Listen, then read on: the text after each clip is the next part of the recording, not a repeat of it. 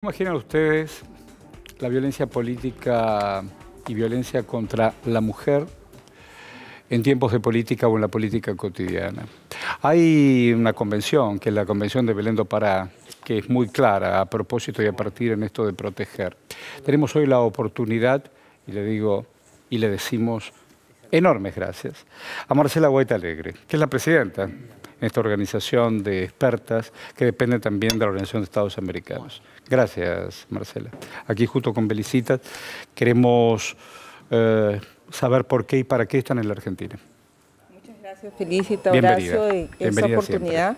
Nosotros estamos acá cumpliendo una misión. Eh, el año pasado nos expresamos en tres comunicados de preocupación por el caso de Argentina en tres eh, instancias diferentes, por las mujeres de Catamarca, las Ramonas, por el atentado contra la vicepresidenta y también en la situación que se vio enfrentada la presidenta de la Cámara de Diputados por violencia e identificamos, al igual que en Argentina, otras situaciones de violencia política en la región.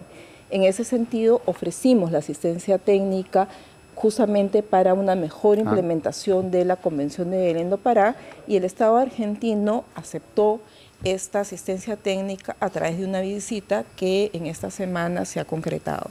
Bien, eh, trabajan obviamente de forma directa con el Estado argentino, con los organismos gubernamentales.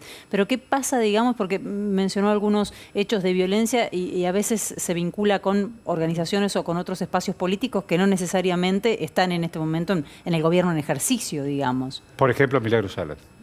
Sí, en general nosotros hemos desarrollado una ley modelo para América Latina en donde eh, decimos y acogemos una definición de participación política en el espacio público.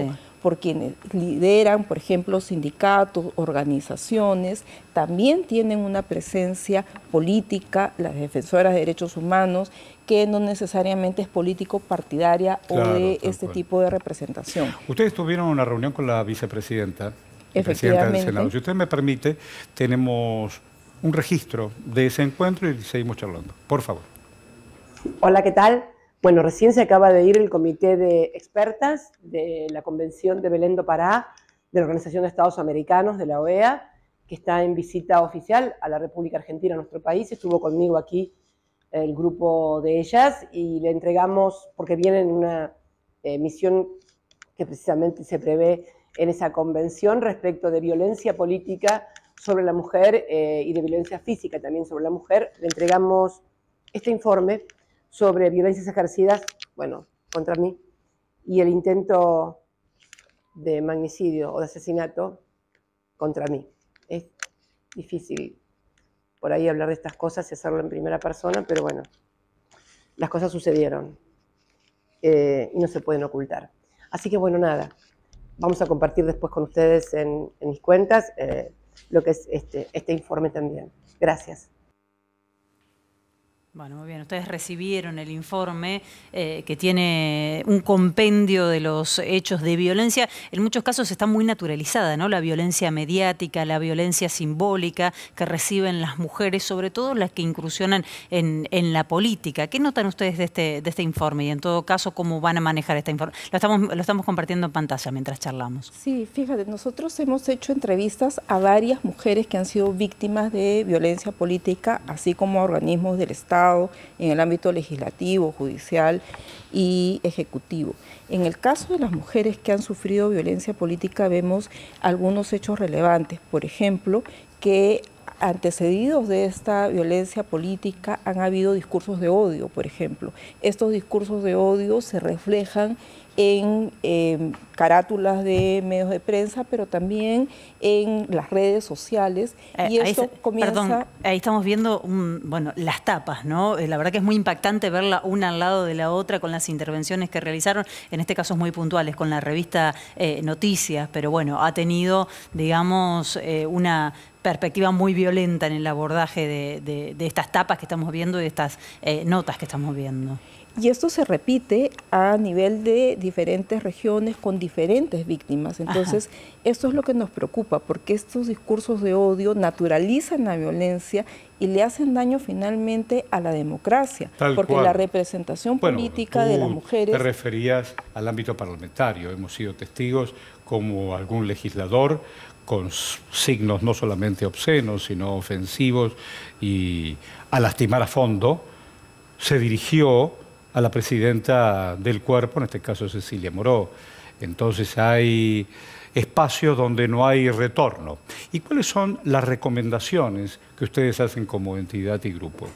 Son varias. Eh, hacemos algunas recomendaciones, por ejemplo, al Poder Legislativo, en donde se tiene que promover protocolos de sanción ah. entre pares, porque hay algunos protocolos que van a sancionar a quienes trabajan con ellos. Pero ¿qué pasa con estas actitudes que son ofensivas, pues no pasa nada porque no hay sanción. Claro. Al interior de los partidos políticos, ¿qué está pasando con aquellos varones que son correligionarios y que no están tampoco respondiendo con sanciones hacia adentro de los partidos?